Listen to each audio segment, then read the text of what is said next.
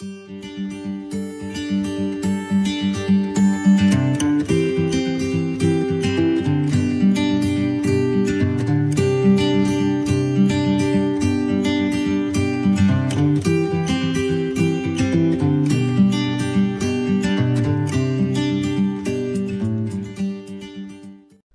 بكم أعزائي التلاميذ في حلقة جديدة من دورة تعلم اللغة الإنجليزية للصف الرابع الابتدائي. درسنا اليوم Unit 5 Lesson 3 ال unit الخامس الدرس الثالث. On the train في القطار. موجود بصفحة 62 من كتاب الطالب صفحة 60 من كتاب النشاط. قبل ما نبدأ بالدرس لا تنسى الاشتراك بقناة اليوتيوب اللي اسمها الأستاذ طه حسين مدرس اللغة الإنجليزية لمتابعة جميع حلقات دورة الرابع الابتدائي. كذلك يتم رفع هذه الحلقات على page الفيسبوك الأستاذ طه حسين مدرس اللغة الإنجليزية اللي تقدرون تلقوه من خلال هذا المعرف. صفحة 62 من كتاب الطالب مكتوب على الصفحة on the train في القطار. أسفلها مكتوب what are they doing? ما الذي يفعلوه? ما الذي يفعلوه هؤلاء الأشخاص؟ Listen استمع and write yes or no. استمع للمقطع الصوتي اللي يتحدث عن هؤلاء الأشخاص. ومن خلال المقطع الصوتي ضع yes إذا كانت الجملة مناسبة للصورة ونو إذا كانت الجملة غير مناسبة للصورة. إذا راح نستمع المقطع الصوتي نتبع بالصور وبعدها نحل إذا كانت هذه الصور مطابقة للمقطع الصوتي نوضع يس وإذا كانت ما مطابقة نوضع نو نستمع المقطع الصوتي أول شي Track 79. What are they doing? Listen and write yes or no.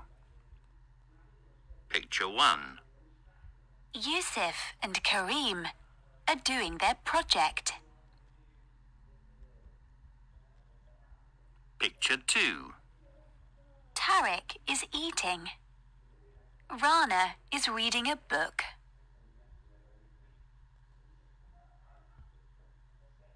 Picture 3. Lena and Nadia are drawing a picture. إذا بعد ما استمعنا للمقطع الصوتي وتعرفنا على الجمل اللي تحدثوها بالمقطع الصوتي الجمل اللي قالوها بالمقطع الصوتي هي كالتالي Picture number 1 الصورة الأولى. يوسف and كريم are doing their project.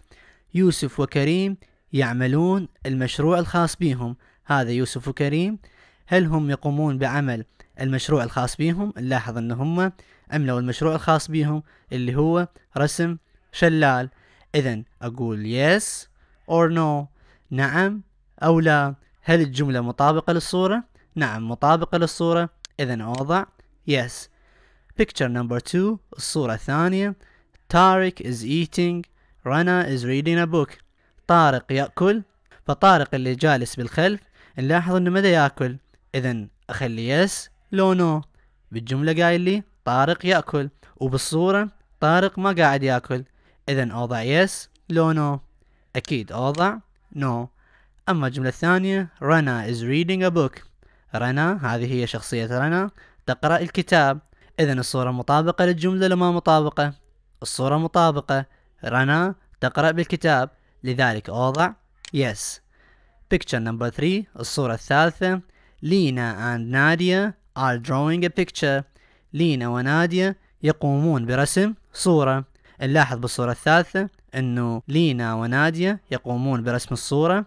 لذلك الصورة مطابقة للنص. نعم مطابقة. لذلك أوضع yes هذا ما يخص النشاط الأول مجرد نشاط سماعي من خلاله يستمع التلاميذ للمقطع الصوتي ويجاوب أو يقارن بين النص اللي يتحدث المقطع الصوتي والصور الموجودة بالكتاب. إذا كانت مطابقة يوضع yes. وإذا كانت غير مطابقة يوضع no. هذا النشاط غير مهم بالامتحان التحريري أو حتى بالامتحان الشفوي. ننتقل إلى النشاط الآخر. Look at the words. انظر إلى هذه الكلمات. Make two sentences. كون جملتان أو أصنع جملتان. يطلب من عندي إني أكون جمل مثل الجمل اللي سمعناها بالمقطع الصوتي. مثلا أقول بالنص الأول أختار فاعل وفعل واسم إلى آخره. منطيني مثال هو طارق is sleeping. طارق نائم. اختار اسم طارق خلاله is والفعل المناسب له خلاله مثلا sleeping. خلاله مثلا sleeping. صارت عندي جملة كاملة. طارق نائم. نحاول نكون كذلك جملة مثل الجملة اللي منطيني إياها كمثال. مثلا أختار شخصية يوسف وكريم. أقول يوسف and كريم ما أخلي لهم is لأن ذولا جمع أخلي لهم are يوسف and كريم are ماذا يعملون؟ أختار فعل مناسب للجملة. عرفنا بالصورة إن يوسف وكريم يعملون المشروع. فأقول doing يفعلون أو يعملون. the project أو their project يعملون المشروع. صارت عندي جملة كاملة. يوسف and كريم are doing a project. يوسف وكريم يعملون على المشروع. نمبر 2 ثانيا أحاول كذلك أكون جملة أخرى. أختار شخصية ولتكن شخصية مثلا طارق. طارق وأخلي له فعل مساعد اللي هو الفعل is لأنه مفرد. طارق is مثلا reading. يقرأ. طارق يقرأ. هذا ما يخص هذا النشاط. يطلب من التلميذ أن يكون جمل مفيدة من خلال الكلمات اللي منطيني إياهن بالصندوق غير مهم بالامتحان التحريري كذلك والامتحان الشفوي. ننتقل للنشاط الآخر listen and read. استمع واقرأ. هنا أنا عندي rules on the school trip. rules معناها القوانين. القوانين الخاصة بالسفرة المدرسية. عندي مجموعة من القوانين يطلب من عندي إني أستمع لقراءة هذه القوانين وبعدها أقرأ. اذا هذا نشاط للقراءة. حاول تستمع لي وأنا أقرأ هذا النص وبعدها حاول تقرأ مثل ما قرأت هذا النص. Rules on the school trip القوانين في الرحلة المدرسية. Sit quietly اجلس بهدوء. Do not eat your lunch on the train. Do not معناها لا تفعل. Do not eat معناها لا تأكل. Do not eat your lunch. لا تأكل غدائك on the train في القطار. Do not talk loudly. Do not كذلك معناها لا تفعل. Do not talk لا تتحدث loudly بصوت عالي. Do not walk around لا تسير بعيدا. Do not forget your hats and bags لا تنسى قبعتك أو حقيبتك. هذا ما يخص قوانين المدرسة. نحاول نقرأ هذه القوانين لأن هذا النشاط خاص بالقراءة. ننتقل إلى النشاط الآخر listen and say the rhyme. استمع وقل هذه القصيدة الغنائية. إذا عندي هذه قصيدة غنائية يطلب من عندي إني أستمع لها وبعدها أردد معه القصيدة الغنائية. راح نستمع للقصيدة الغنائية وحاولوا ترددون بعدها. إذا ما قدرت ترددون بالمحاولة الأولى عيدوا تشغيل القصيدة الغنائية وحاولوا ترددون بعد القصيدة الغنائية بالمحاولة الثانية. نستمع للمقطع الصوتي أول شي. Track 83. Listen and say the rhyme. We're on a school trip and we're having fun. I'm drawing, she's sleeping, they're writing, he's reading. We're on a big train and we're having fun. I'm singing, she's talking, they're eating, he's drinking. We're on a school trip and we're having fun. إذا لاحظنا من خلال المقطع الصوتي إن هذا مجرد قصيدة غنائية يطلب من عندي أن أستمع لها وأحاول أردد بعدها. ننتقل إلى كتاب النشاط. Listen and read the sentences. استمع واقرأ هذه الجمل. راح أقرأ الجمل وأوضح مفرداتها. حاول تستمع لقراءة هذه الجمل وتفتهم معناها. بعدها حاول تقرأ هذه الجمل. In July we are going to go on holiday. في جولاي سوف نذهب في عطلة. نوضع خط تحت هذه الجملة لأنها جملة مهمة. وبعد قليل راح نوضح ليش هاي الجملة مهمة. We are going to go on holiday سوف نذهب. في عطلة to the seaside إلى الشاطئ أو إلى البحر. It is very exciting. إنه أمر مدهش جدا. We are going to go on a plane. سوف نذهب بواسطة الطائرة. كذلك هاي الجملة نضع تحتها خط لأنها جملة مهمة. And we are going to stay with my aunts and uncle and my cousins. وسوف نبقى مع عمتي عمي وأولاد عمي. كذلك هاي الجملة نضع تحتها خط لأنها جملة مهمة.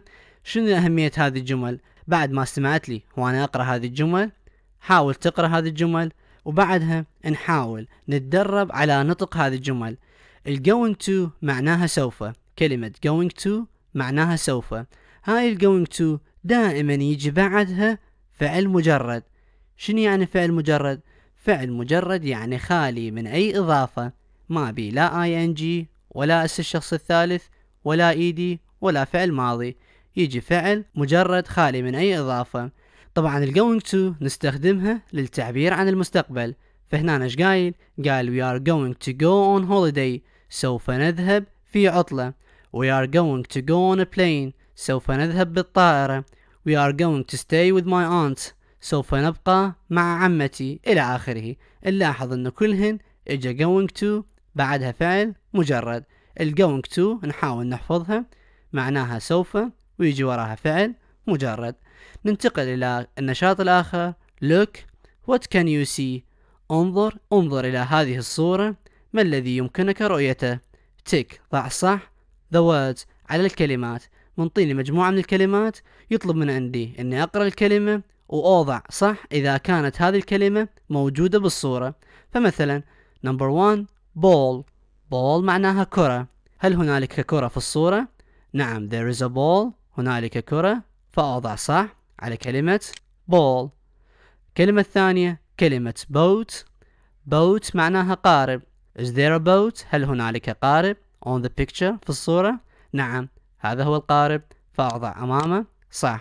كذلك الكلمة الثالثة tree tree معناها شجرة is there a tree in the picture هل هنالك شجرة في الصورة نعم here is the tree هذه هي الشجرة فأوضع أمامها صح number four sun sun معناها شمس is there a sun in the picture هل هنالك شمس في الصورة yes here it is نعم هذه هي الشمس فأوضع أمامها صح butterflies الفراشات are there butterflies هل هنالك فراشات؟ Yes here they are. هذه هي الفراشات. فأوضع أمامها صح. Net. Net معناها شبكة. Is there a net? هل هنالك شبكة؟ نعم. Here is the net. هذه هي الشبكة. أوضع أمامها صح. Sandals معناها الشبشب are there sandals? Yes. فأوضع أمامها صح. Umbrella. Umbrella معناها مظلة. هل هنالك مظلة؟ نعم هذه هي المظلة. فأوضع أمامها صح. Sunglasses نظارات شمسية هذه هي النظارات الشمسية أوضع أمامها صح وكذلك مع البقية. Chair كرسي هذا هو الكرسي. Plane طائرة هذه هي الطائرة. أوضع أمامها صح وساند رمال هذه هي الرمال. هذا ما يخص هذا النشاط. مجرد يطلب من عندي إني أقرأ هذه الكلمات وأتأكد إذا كانت ذن الكلمات موجودة بالصورة. ننتقل إلى النشاط الآخر. Read and write the missing words. اقرأ اقرأ هذه المحادثة واكتب الكلمات الناقصة. منطيني محادثه بين هاي الشخصيتين يطلب من عندي ان أكمل هذه المحادثة بالكلمات اللي موجودة على التمرين. طبقا لشنو؟ طبقا للمقطع الصوتي اللي راح نستمعه. فمكتوب أسفل التمرين listen and check your answers. استمع وتفقد إجاباتك. إذا راح نستمع المقطع الصوتي نتبع مع المحادثة. ونكتب الكلمات الناقصة من خلال المقطع الصوتي اللي راح نستمع له وبعدها نوضح مفردات هذه المحادثة نستمع المقطع الصوتي أول شي وبعدها نحاول نقرأ ونوضح المفردات Track 84. Listen and check your answers. I'm happy. We're going to go to the seaside. We're going to go on a plane. We're going to go in a boat on the sea. We're going to catch fish with our nets. We're going to play with friends. We're going to see our cousins. We're going to wear sandals. We're going to swim in the sea. إذا بعد ما استمعنا المقطع الصوتي وملينا الفراغات حسب المقطع الصوتي نجي نوضح مفردات هذه المحادثة. الشخصية الأولى تقول I am happy أنا سعيدة We are going to go to the seaside. سوف نذهب إلى البحر أو إلى الشاطئ. يرد عليها زميلها يقولها We are going to go on a plane. سوف نذهب بواسطة الطائرة. ترد عليه We are going to go on a boat on the sea. سوف نذهب في قارب على البحر We are going to catch fish سوف نمسك بالسمك with our nets بشباكنا ترد عليه We are going to play with friends سوف نلعب مع أصدقائنا We are going to see our cousins سوف نرى أولاد عمنا We are going to wear sandals سوف نرتدي الشبشب we are going to swim in the sea سوف نسبح في البحر هذا ما يخص هذا النشاط من الممكن بعض الأساتذة يعتبر هذا السؤال سؤال مفردات يجيب جملة أو جملتين من هذه المحادثة على شكل سؤال إسقاطات. فنحاول نحفظ معاني هذه الكلمات لأن من الممكن يجينا بالامتحان بسؤال المفردات على شكل إسقاطات. هذا كان درسنا لهذا اليوم. أخذنا بمجموعة من المفردات المهمة وقلنا هذه المفردات يجب أن نحفظها معاني اللي هي كلمة plane, boat, fish, play, cousin, sandals, swim إلى آخره. وكذلك عرفنا أن ال going to معناها سوف ودائما يجي بعدها فعل مجرد إذا لاحظتوا going to where سوف أرتدي. going to play سوف ألعب أو سوف نلعب. going to see سوف نرى. going to go سوف نذهب. going to go مرة أخرى. going to catch سوف نمسك إلى آخره. جميع هذه ال going to اللي معناها سوف اجى بعدها فعل مجرد ونستخدمها للتعبير عن المستقبل. ختاما شكرا لمتابعتكم للفيديو. أي سؤال أو استفسار أو إضافة تحبون تقدموها تقدرون تتواصلون وياي على حسابات الموجودة أمامكم على الشاشة.